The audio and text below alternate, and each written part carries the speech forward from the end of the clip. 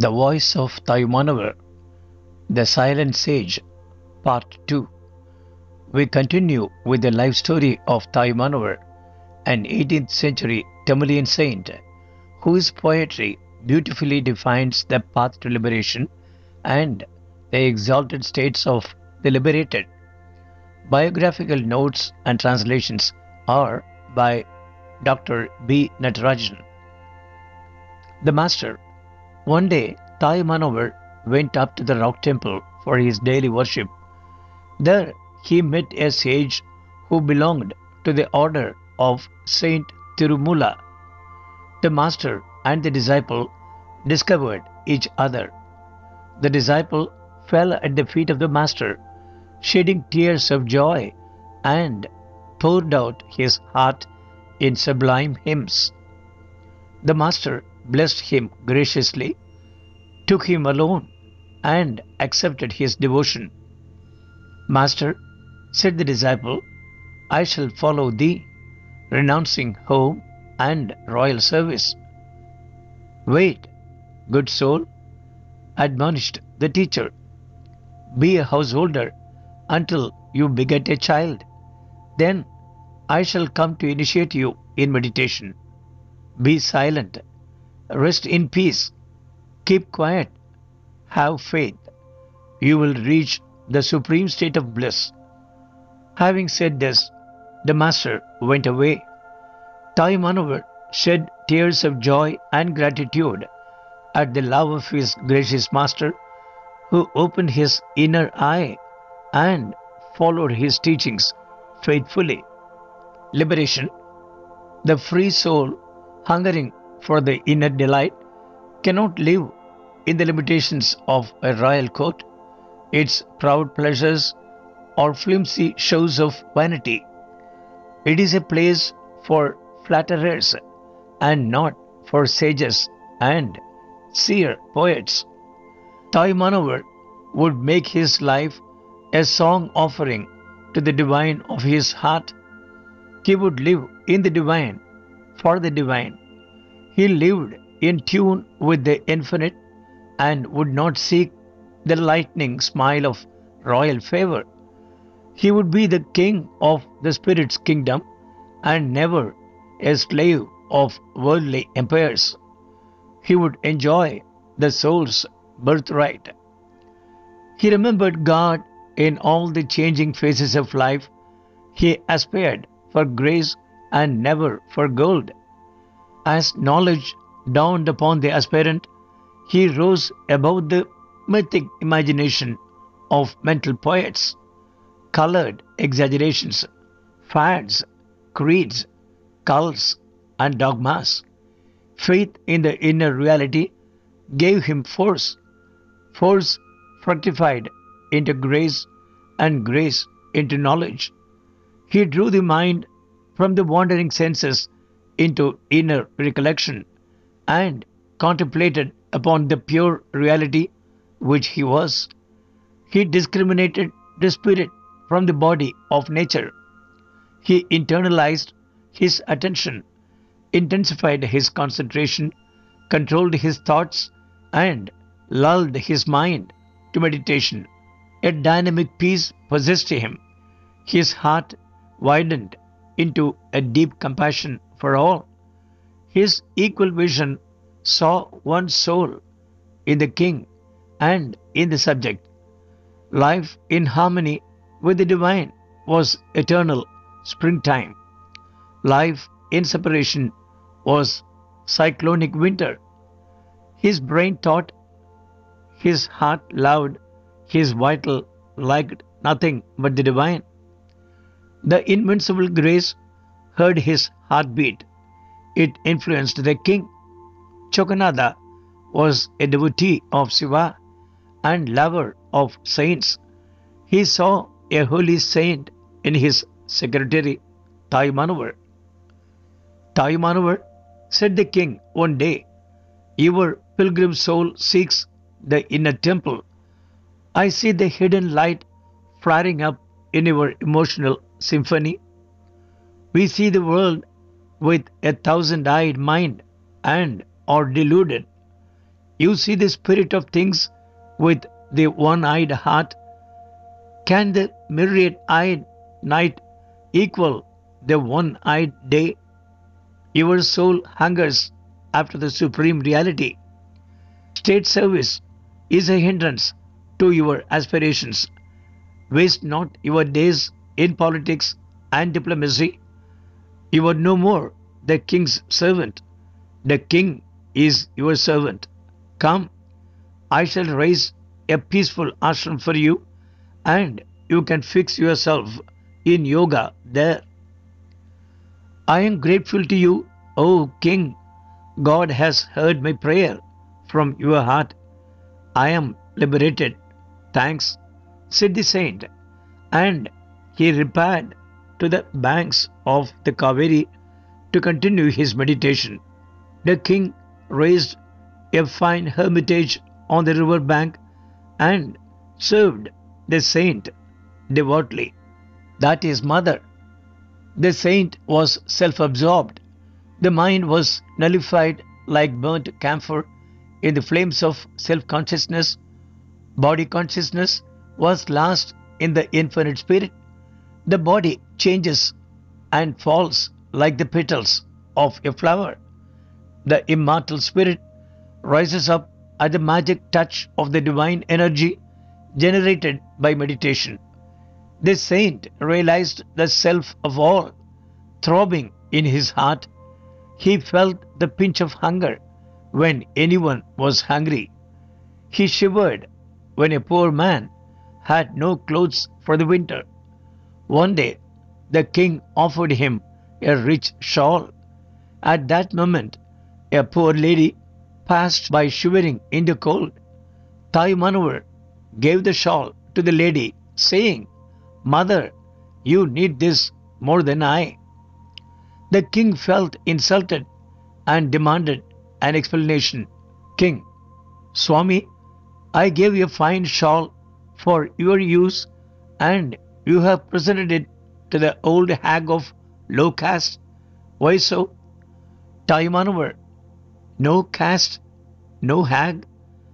I gave the shawl to the Universal Mother. It is she who has received back what belonged to her. Silence meets silence.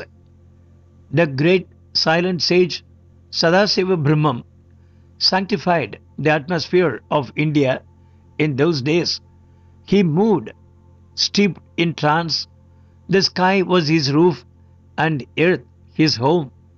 To see him was to know the real. His songs were already popular among the learned. On his way to Pudukota, sage Sadasiva met Thayumanavar in 1738. Their meeting was like the meeting of Vedanta and Siddhanta. Silence is peace. Silence is bliss. Silence is knowledge, wrote the sage. Thayumanavar, already a lover of silence, became yet more silent. The king dies. The times were troubled by plots of enemy chiefs and by open skirmishes. Now the Maharathas cannon thundered and now the Mussulman powder exploded. The foreigners became aggressive. Peace was in exile and war shook the land with terror. Traitors betrayed masters. Enemy spies created divisions in the camp. King Chokanada was a good man, but not a good ruler. He called to his help anybody and everybody. The only true helper was the Tondaman of Pudukota, a brave hero who guarded the Trisarapuram fort with the help of his Marava heroes. But a double dealing Iago sent a secret spy to the saber rattling Maharathas. The Maharathas had politics in their brain and courage in their heart. One night, when everything seemed quiet, the fort entrance opened. The main door swung aside. Trumpets were heard. Guns reported. Cannons boomed. the Maharathas were in the heart of the city. Chokanada was choked with grief. He must either become his enemy's prisoner or die, shedding his blood in fighting an overwhelming force. Chokanada would do neither. He shouted aloud the name of God Shiva, Shiva, how false is the world, how dangerous sovereignty, and how heavy the crown. Man has a treacherous tiger in him. How can I trust human nature? I take refuge at thy feet. Shiva, Shiva. The king died of a broken heart. The pathetic scene inspired the Nayak army with new courage. Raghunatha Raya Tondaman, the famous king of Pudukkottai, took charge of the task of guarding the fort. Vigilant swords and cannons kept the Maharatha hordes at bay. The Tondaman crushed the enemies whose plots were leading to a conflagration. The dread of war being over, Rani Meenakshi, the widow of Chokanada, assumed sovereignty. 1731 to 1736. The love news. The first man to attract the queen was Saint Thayumanavar. Holy Sir, implored Queen Meenakshi, I am helpless and alone. You are the only wise man whom I can trust. Your head and heart alone can save the kingdom. Its welfare depends upon you. Come and help me in the name of my husband who loved you so much. The saint took pity upon the helpless queen.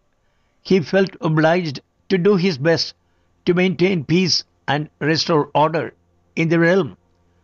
Under his influence, treachery was knocked down like an uprooted tree. The den of misrule became a heaven of order and discipline. Under the control of Thayumanavar, the Rani was all regard for him, but her regard carried passion into her youthful heart. His beauty of person, his strong will, wisdom, sagacity, political acumen, religious fervor, austerity, and sweet words worked like magic upon her imagination. Regard turned into affection, affection into love, love into lust, and lust inflamed hidden passions in the uncontrolled mind. She treated him like her close companion. The friendship ripened into love, and she approached him alone one night with a pining heart, with passion lost modesty. She stood before the meditating saint like an image of love lone beauty. The saint knew her wiles. Thayumanavar, what has brought you here, queen, at this hour? Queen, my heart has brought me to you, sir. I offer myself to you in surrender. I love you. Thayumanavar, but I love none but the divine in my heart. Queen, sir, consider me as your wife. Thayumanavar, I consider you as my mother. Mother, do not test me. I am your simple child. Queen, my lord, I dedicate my life to you. Embrace me now, or I shall embrace death. Thayumanavar, that shall not be, mother. O God, save me from the noose of lust. Divine force, save me from this flashing sword of lustful eyes. Let not my purity be killed by its venomed edge. Queen, my beloved sir, I shall give you all my wealth. Love me. Thayumanavar, woman, your wealth is filth. Queen, I surrender my kingdom to you. Thayumanavar, your kingdom is wardom. Leave me in peace. Queen, my man, it is the queen's order. Obey me. Thayumanavar, I obey only the king's order. The king of my soul is God. The Rani cast a lust-lit look and departed like storm-driven lightning. Her love changed into wounded pride. She meant harm, and the saint knew it. Next day, she was determined to force him to her will. She ordered one of her ministers, Narayanappa, to bring the saint to her private apartment. The minister went, saw, came back, and reported that the saint had escaped. His whereabouts not known. She sent spies abroad, but before she could avenge herself, civil war raged in the kingdom. Chanda Sahib assailed her capital. Conspirators and opportunists shattered her peace, and the minister himself rebelled against his woman of intolerable pride and suspicious conduct. We shall see the result of these political upheavals later on. How did he escape? To be continued